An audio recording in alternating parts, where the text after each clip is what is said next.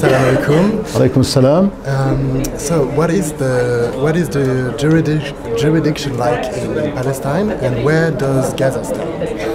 يعني النظام القضائي آه، قانون يعني ما زالت حتى الآن تسري التشريعات الأردنية عشية الاحتلال في العديد من القوانين عند مجيء السلطة الوطنية آه، تم آه، إنشاء قانون السلطة القضائية وهي لقطاع غزة والضفة الغربية. فالوضع في فلسطين وخاصة بما يخص القوانين الفلسطينية هناك مجموعة من آه، القوانين آه، ما زال يحكم في الضفة الغربية قانون العقوبات الأردني لعام 1960 ولكن في قطاع غزة هناك قوانين كذلك آه، يعني قوانين مصرية وقوانين إنجليزية وقوانين عثمانية وكذلك في الضفة الغربية. وبالتالي فلسطين من نوع آخر مجموعة من القوانين آه، بشكل عام. ولكن قانون السلطة القضائية هو موحد للجميع. الضفة الغربية وقطاع غزة وقانون أصول المحاكمات الجزائية والمدنية هو موحد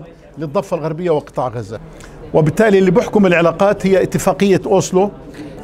وبالتالي بال يعني آه، سيصدر آه، في هذا اليوم قانون جديد ب يعني إنشاء مجلس قضائي انتقالي وذلك للعمل على تطوير وتعزيز السلطة القضائية في فلسطين. نأمل أن آه، ينتهي الانقسام وتعود فلسطين موحدة ولكن السبب الرئيسي في كافة المشاكل هو وجود الاحتلال كعائق لتطوير وتعزيز آه، آه، السلطة القضائية وحقوق الإنسان Referring to uh, children rights, what are your plans to implement and uh, protect children rights, especially in a judicial uh, juvenile uh, Centers. centers?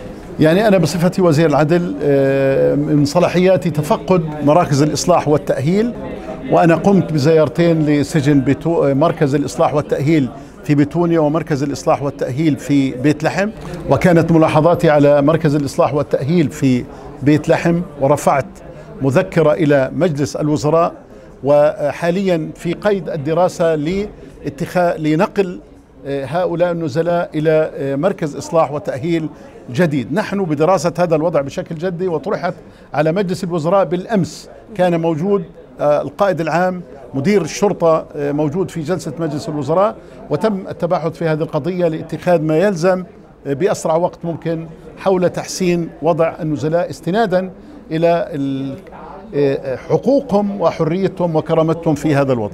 ونحن انضمينا إلى اتفاقية حقوق الطفل ويوجد عندنا قانون الطفل الفلسطيني وبالتالي نحن آه، نلتزم باحترام وتطبيق كافة المعايير الدولية والوطنية اتجاه الأطفال الفلسطينيين سواء في في في حياتهم أو سواء آه، في وقت آه، احتجازهم كأطفال. يعني هناك قانون الأحداث طبعا يعطي الحماية القانونية للطفل الفلسطيني استنادا للمعايير الدولية. وأنا بهذه المناسبة بشكر القنصلية الإيطالية وبشكر الحكومة الإيطالية لدعمها ومساندتها في تحسين وتطوير مراكز الإصلاح والتأهيل بما ينسجم والمعايير آه، الدولية So thank you very much. Thank you.